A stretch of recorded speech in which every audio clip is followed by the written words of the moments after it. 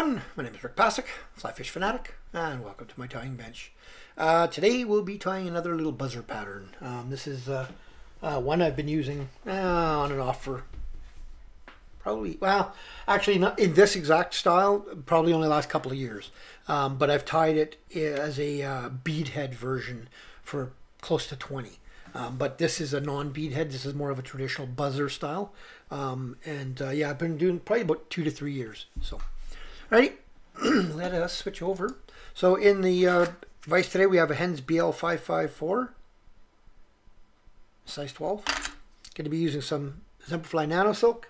I'm going to be using some Semperfli uh, mirror tinsel in the antique gold. And that is it. Um, oh, no, sorry. And then I'll be using a little bit of uh, um, Semperfli uh, um, bright orange uh, goose biots for the uh, the wing case or the hot spot. So and just get your get your thread started. Come up about halfway. Getting close to dinner time. My belly's telling me, "Hey, what you doing, man?" So I'm just gonna get a nice little flat base layer down and I'm going to come back quite a ways on this turn turn here probably to about there and then I'll stop flatten my thread and then I'll come back up.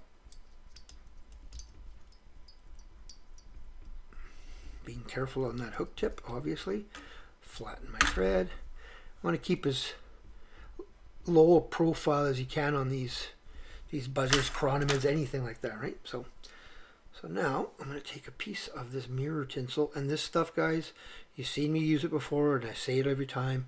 It's absolutely wonderful. I love the color of it. I love the sheen you get from it. I love just a lot, so much about it, but it is extremely, extremely, extremely brittle. You have to take your time.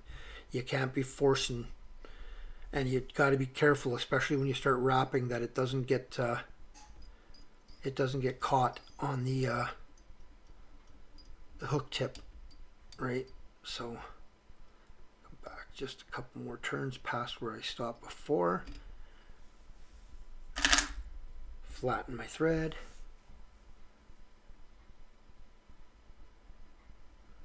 Back up to about there, flatten my thread. I just want to make sure there's a nice smooth body, especially from this point on here. Stop about there. Then carefully, the first few wraps especially, around by close to that hook tip. I just want to get a cup. I want a couple, two, three turns right at the butt. I want to create a little bit of an orange butt on this one. And then I'm going to open up. And I'm going to open up. Yeah, there we go. Nice, as evenly spaced as you can. And you want to be tight. I mean, you can hear it that I'm pulling tight, but don't pull too tight because, like I said, um, this stuff will break quite easily. And it's it's it does stretch too, and then it when it stretches, it gets a, it takes the color away, if you want to call it that. So that's it. nipper nipper. Just a really nice, simple little uh, ribbing. Then I'm gonna hold on, I got my caught my bob in here. Okay, and then I'm going to come back up, and I'm going to just go back and cover that last rat, that last uh, rib, and I'm going to take two pieces of the goose biot. You can see I've been butchering this one because been tying a lot with goose biots in them. Just got to find a couple of decent biots. But uh,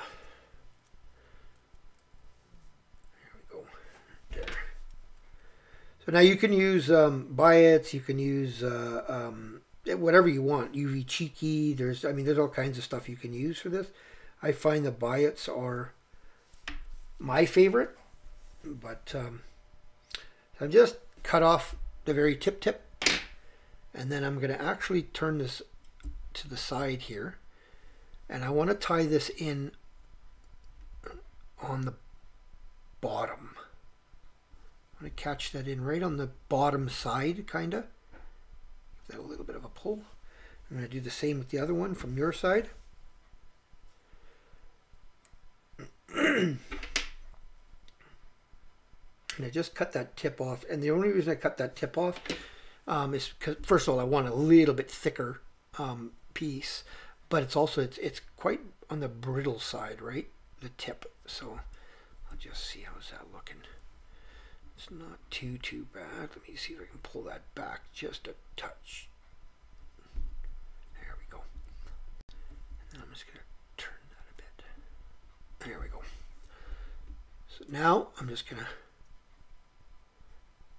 make sure they're tied down, flatten my thread, and I'm just going to create my little baseball shaped head, uh, a football shaped head, sorry. Baseball. Wrong sport. Um, doesn't have to be too large. I mean, it depends on what you're going for. You can make this head as large as you want, but uh,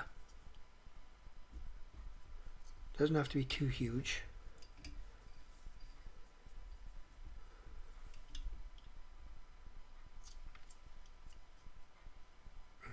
Kind of taking my time on this one, but that's okay. I just have to swing my uh, magnifying glass over to see what the heck's going on. I'm uh, getting more blind in my old age here. Alrighty flatten my thread. Now, some of these that I've tied, um, I don't know if I can show you or not, might be difficult to see. Yeah, it's kind of difficult to see, but on the top, you see that's got I've got I actually put a piece of mirror tinsel this way on it. Um, sometimes I use a piece of silver tinsel. Sometimes I don't use any. This one I'm not going to do any. I just want the uh, this one's a really simplistic, just that orangey gold rib and this orangey looking through the mirror uh, the magnifier um, this orangey gold mirror um, goose biot that's all the color I want and all the the uh, attraction I want in this one so I'm just gonna give that a bit of a just a loose tie then I'm gonna yeah see that's the it's the only issue you gotta watch out with goose that it can split like that right sometimes so we'll see. See if I can get it looking decent, and then we'll. Uh, it's to get covered anyway. We'll see. Yeah, that's not bad. That little bump there, that little break there, I'll get that cleaned up with uh, the UV resin. so now it's just a little whip finish.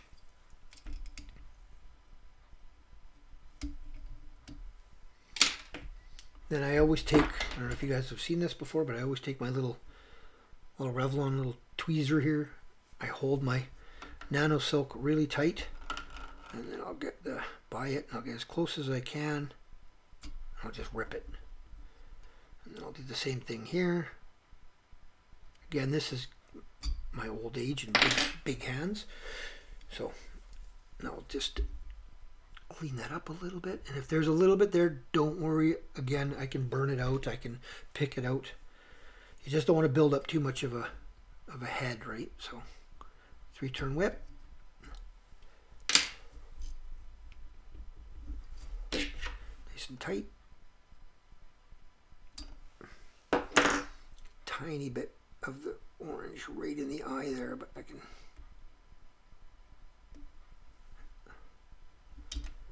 Not too bad. Yeah, I'm not the biggest fan of that that gill on your side because of the biot, but you can see that side's even it's quite a bit better, right? But okay, so Gulf Thinman. Let me get rid of that magnifier. And this is just going to be for the head for now. I could have built a little tiny bit bigger of a head, but I didn't want a big, really big one on this.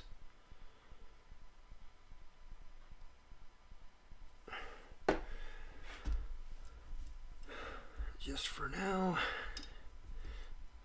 just get that, get that shape there.